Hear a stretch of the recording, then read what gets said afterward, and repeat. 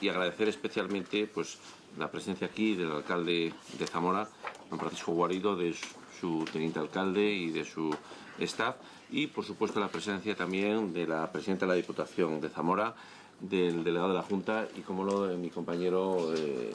consejero de Educación, que junto conmigo pues acabamos de firmar con el alcalde de Zamora un protocolo, un protocolo que consideramos es un documento importante, es un documento eh, que bueno viene a materializar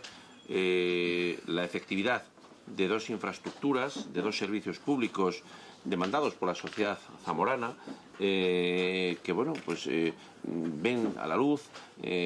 a través de este protocolo que inicia las actuaciones necesarias para construir en Zamora un complejo que albergará el Conservatorio de Música, del que luego hablará el consejero de Educación, y el Centro Cívico. Un centro cívico en el que, alcalde, veníamos trabajando ya desde hace unos cuantos meses y que teníamos pues bastante avanzado, pero que en un momento dado de ese proceso se ha incorporado la posibilidad de mejorar ese proyecto incorporando la construcción de ese eh, conservatorio que la Consejería de Educación acordó y la Junta de Gestión acordó iniciar en Zamora.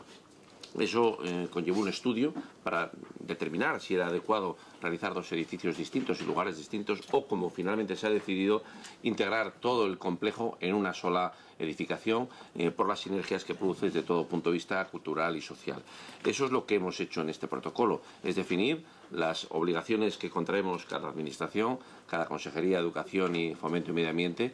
y el Ayuntamiento de Zamora. Concretamente, eh, la parte que va a ser dedicada al centro cívico va a ser sufragada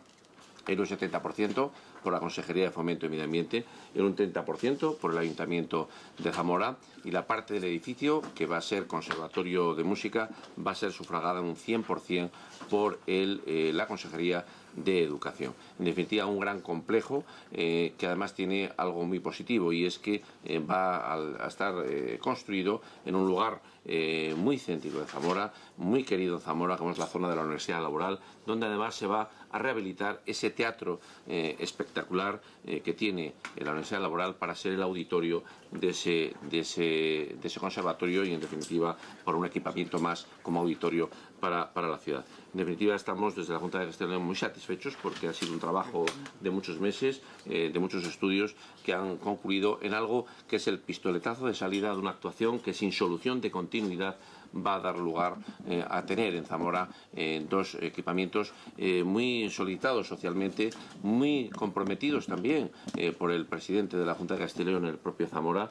por distintos sectores políticos y sociales de Zamora y que a raíz de, esta, de este documento, que es un documento que no es de intenciones, es un documento de realidades, es un documento que pone en marcha ya eh, un proceso que ya se aprovechará en parte del trabajo que hemos venido realizando y que a partir de hoy pues toma un nuevo rumbo eh, muy interesante, muy necesario y consideramos eh, pues bueno pues pues pues absolutamente demandado en la, en la ciudad de Zamora. Por tanto, agradecido al alcalde a tu presencia aquí, agradecido al consejero de Educación por estos meses de trabajo conjunto los tres que han permitido dar lugar